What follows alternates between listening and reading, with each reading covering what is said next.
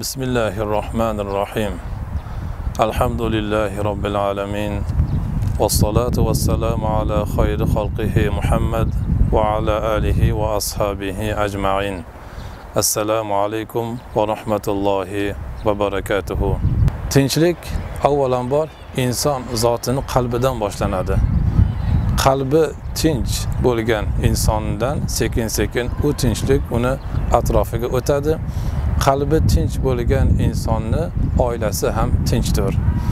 Oilaning tinch bo'lishligi sekin sekin qo'shniga o'tadi.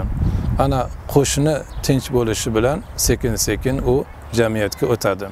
Chunki insonlarning qalblarining tinch bo'lishligi aynan bu jamiyatning tinch bo'lishligidir. Bizni dinimiz madaniyatida mo'min banda mo'min banda bilan ko'rishgan vaqtida aynan salom bilan ko'rishamiz. Bizni buyuk salomimiz ham assalomu alaykum deb ifoda etiladi. Ma'nosi man sizga alloh taolodan ofiyat omonlik xotirjamlik tinchlik tilayman degan buyuk bir ma'noni ifoda etadi. Mana shu salom otamiz odam alayhissalomdan boshlab qiyomatga qadar aynan zikr qilinadigan buyuk bir so'z hisoblanadi. Agar banda banda bilan salomsiz ko'rishsa o'rtada unsi ulfat yaxshi bo'lmaydi. Aynan salom bilan ko'rishgandan keyin inson bilan inson o'rtasida aynan unsi ulfat mehr muhabbat demak kuchayib boradi. Rasuli ga allohni salot va salomlari bo'lsin.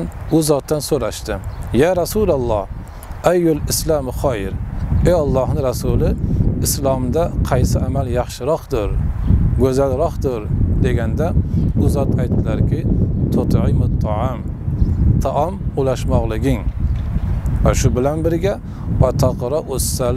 ala man arafta va man lam tarif.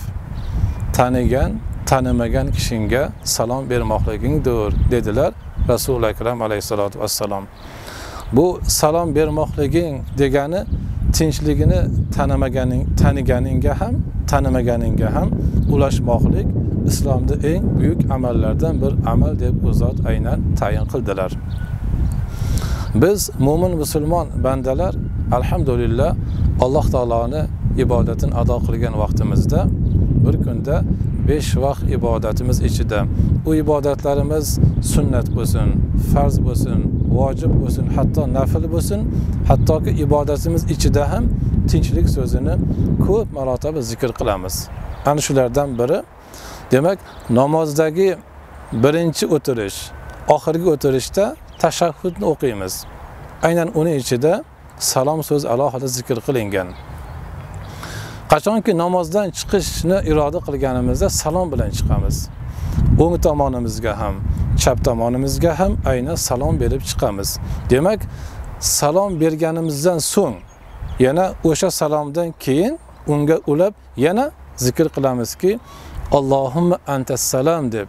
Ey ollohim albatta san salom zotsan degan ma'noda zikr qilamiz.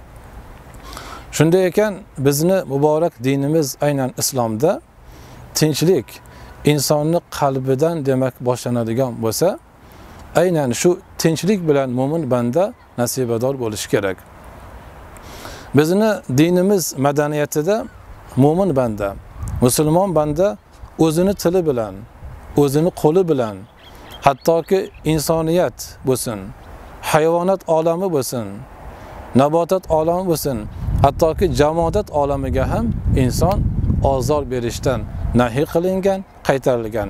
Chunki musulmon inson tinchlik dinini qabul qilgani uchun uni qo'lidan ham tilidan ham aynan atrof o'zidan boshqa butun insoniyat bo'lsin boshqa olam bo'lsin ozor chekishi kerak emas. Rasuli akram alayhissalotu vassalom sahobiylar bilan bir safarda bo'ldilar. Shunda bir joyda qo'nib o'tirdilar. Sahobiylardan birlari bir qushni inidan borib bolasini oldilar. Shunda haligi qushni onasi butun sahobiylar atrofida aylanib ucha boshladi. Shunda u zot alayhisalotu vassalom aytdilarki bu qushni bola sababdan kim musibatga uchradi deganda yo rasululloh man dedilar. Shunda u zot qushni bolasini uyasiga qo'yishni amr qildilar. Hatto islomda nafaqat insoniyat balki hayvonot olamiga ham hatto uning ham oilasiga ozor bermasdan balki uni ham omonda saqlashlikka aynan biz buyurilganmiz. Shu ma'noda tinchlik bo'lgani uchun islom dini dunyoda notinch bo'lgan yurtlarga bir agar nazar tashlaydigan bo'lsak biz aynan tinchlik nimaligini azizlar bilamiz. Shuning uchun har birimiz tinchlik ne'matidan nasibador bo'lishligimiz kerak. Alloh taolo hammalarimizni tinchlik ne'matidan nasibador bo'lishimizni nasib aylasin. Assalomu alaykum va rahmatullohi va barakatuh.